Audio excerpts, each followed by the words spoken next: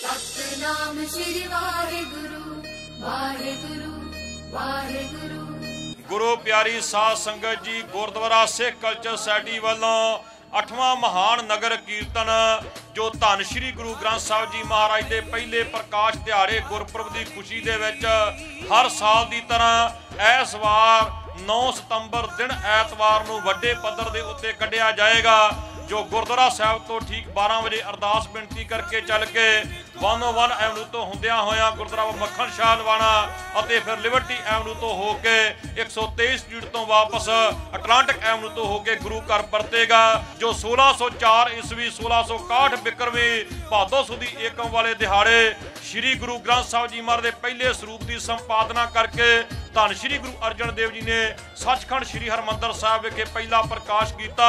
ਸੋ ਉਸ ਦਿਹਾੜੇ ਨੂੰ ਸਮਰਪਿਤ ਇਸ 8ਵੇਂ ਮਹਾਨ ਨਗਰ ਕੀਰਤਨ ਵਿੱਚ ਆਪ ਸਮੁੱਚੀਆਂ ਸੰਗਤਾਂ ਨੂੰ ਪਹੁੰਚਣ ਲਈ ਬੇਨਤੀ ਹੈ ਜੀ। ਵਾਹਿਗੁਰੂ ਜੀ ਕਾ ਖਾਲਸਾ, ਵਾਹਿਗੁਰੂ ਜੀ ਕੀ ਫਤਿਹ।